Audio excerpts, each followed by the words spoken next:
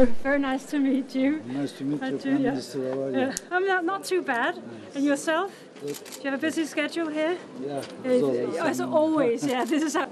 I'm very happy with that. Um, as you know, to gather as much information as I um, to understand uh, in order to, to put myself.